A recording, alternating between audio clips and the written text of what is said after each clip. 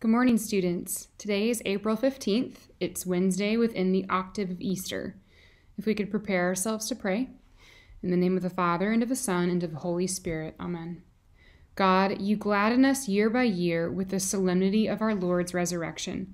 Graciously grant that by celebrating these present festivities, we may merit through them to reach eternal joys through our Lord Jesus Christ, your Son, who lives and reigns with you in the unity of the Holy Spirit, one God, for ever and ever. Amen. For this morning's intentions, we pray for Emily Barry Rigsby from the class of 2008, Emily Wells, Courtney Manley, Bethany Evans, and Keith Evans. We pray to the Lord. Lord, hear our prayer. This morning's reflection comes from the Gospel of John.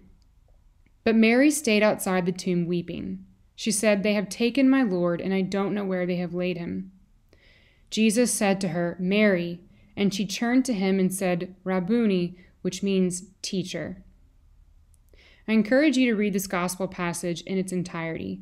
It's a moving portrait of someone who is feeling all the uncertainty and loss that many of us are experiencing right now. However, Jesus is right next to Mary Magdalene the entire time. May we too recognize God's presence today.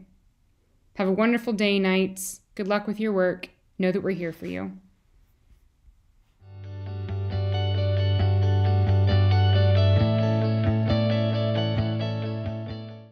Good morning, Knights. Congratulations to Matthew Messiker for being selected to the All Mid State bowling team.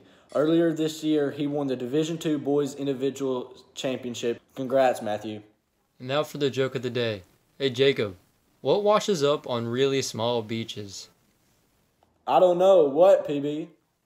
Microwaves. Have a good day, Knights.